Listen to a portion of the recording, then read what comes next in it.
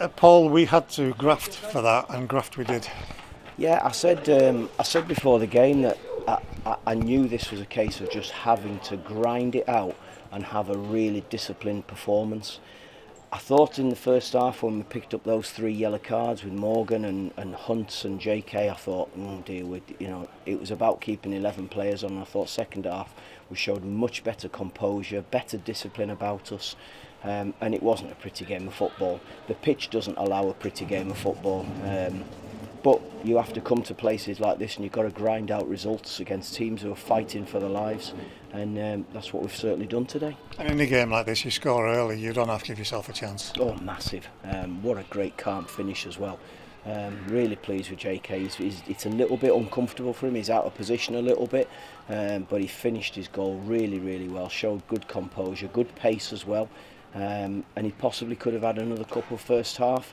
Um, I just think it, it wasn't a it wasn't a great game of football. You know, I'm I, I'm I'm not going to lie, but it's a brilliant result in front of an incredible support. You mentioned the composure second half. I felt there was that there with football in the first half as well. We didn't look too troubled in that first five five minutes. No, no, we didn't in the first half, um, and we said it was just it, whoever could just eliminate mistakes would win the game today. It was about just not making mistakes, just being really safe, doing the basics well. and um, I thought we did. I thought we did do the basics well. And you know, we we had a couple of times where we created things, but we didn't quite find the right pass at the end of it, um, particularly at the start of the first, of the second half. Um, but it was about just seeing it through, and thankfully we did. You mentioned JK, that assist from Deno, was through, and again, it's you've got that feeling, young old head on young shoulders, that he's going to finish it. Yeah, yeah, good, great composure. Um, I mean, he's, he's, he's battled away up front today. I thought he was a little bit unlucky to get the, the yellow card because he didn't. He, he isn't the sort of malicious type. I think he's just put his arms up to try and sort of get his balance and protect himself and, and he's caught the, the centre back in the face or wherever he caught him. I thought he was a little bit harsh. Um, I mean, thankfully, nothing else came of any of the yellow cards. You know, we, the, the big one that disappoints me is that referees tell us that our captain's the one who should go and speak to the ref. So Morgan goes and speaks to him, and he gets a yellow card for it. And I don't really get that, but hey, listen, um, I don't think it was his day today, the referee. Um, thankfully, it hasn't cost us. I was going to say, we don't need to discuss. There was some contentious decisions. It doesn't matter. What does matter? Three more points. That three in a row that you wanted. Yeah, yeah, it's it's the it's the, the sort of monkey off our back in terms of three wins. Um, now we have to go four. We've got to go and get a run together. I've said it before. I was really jealous when I heard the other week about Man United winning 10 on the trot.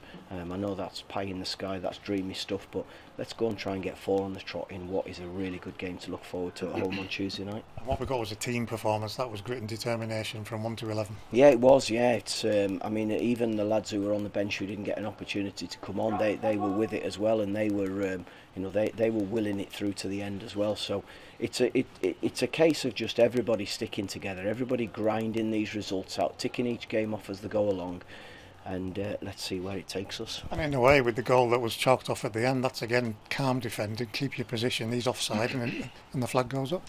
Yeah, yeah, it shouldn't happen. Um, we shouldn't have given the free kick away in the first place. We shouldn't have allowed the first contact on theirs, um, but we did have a good line and, and allowed it to play offside. And thankfully, um, the linesman on the far side was doing his job, and, and I don't understand why he didn't flag early enough. Maybe he wasn't sure who actually headed it on, um, but it was the correct decision. You know, Hunter said he was definitely offside. Um, so thankfully um, we got the right decision and we managed to get the win. Confidence must be soaring in that dressing room. Um, I, I don't I don't really know. I mean, I'm I'm really enjoying it. Um, you've got to enjoy it when you're fourth in the table um, and we're picking up results. Um, I just think you've just got to keep going. You know, I'm I'm not. I, I am really enjoying it. My face isn't showing at the moment, but that's because there's 19 games to go, and I just I'm determined to keep them going. I'm determined to keep the standards right. Um, we have to come in every day and train. You know, we've, I, I said to them on Friday, we're probably looking at 42 training days and 10 match days between now and the end of the season if it gets completed in the 46. Um, so for 52 days, we have to be absolutely bang on. And if we do that properly, I think there's enough ability in there to go and make it a good finish to the season. You've said before, target one for every game is a clean sheet. Thomas has played a part in that. What a save to help the lads keep the clean sheet that they worked for. Yeah, definitely. I thought we worked hard to stop crosses today. Um, we worked hard up against the to start with against two pacey strikers in Mellor and, and Rodney. And then there was a different challenge that came on with the two big lads, with Henderson and Quigley, and then the put Sinclair on and oh, Odo Why.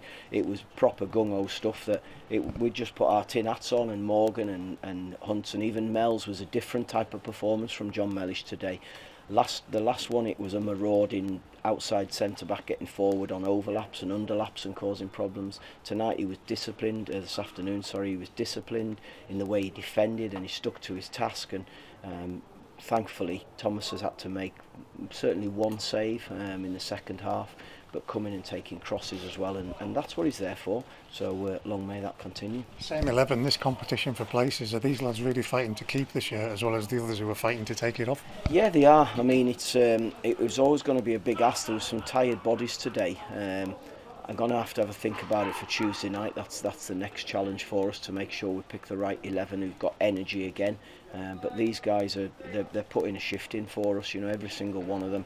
Um, and hopefully they'll keep doing it. 1600 plus, you loved it when you came out the tunnel. What was it like at the end there to celebrate in front of them? Well, I said to the players at half time, start getting a picture in your mind about what it can be like at the end, and that that's just fantastic. I mean, you know, we I, I was going to say I'm not surprised, but they still do surprise us because they keep turning up in the numbers and um, they've they've made a brilliant atmosphere. The noise they made first half was incredible. They stayed with the team, and then they can all enjoy that end there when the, when the players go and thank them for the, for what they've done as well. But still not your problem. But if they play like that, you'd think that they'll have enough battle in them to, to get out of this. Possibly, um, but you, you've got to score goals, haven't you? Um, so. Um, as you said, it's not my problem. My concern is Carlisle United. I'm really pleased with where we are at the moment after 27 games, and I'm really looking forward to Tuesday night now. Massive game. Uh, as you've said, you'll look at the team, you'll assess how the boys are, but that is a big game, one big crowd. We'll all enjoy it. Yeah, yeah, we've got to. We have to make sure we enjoy it. But you only enjoy it if you do it properly and you get a result, and that's that's what our next challenge is. We've got to make sure we look after ourselves on Sunday, make sure they recover properly come again in, come into the club again on Monday and, and, and really be ready to go again on Tuesday night with another big performance that hopefully gets us three points. Well, thank you.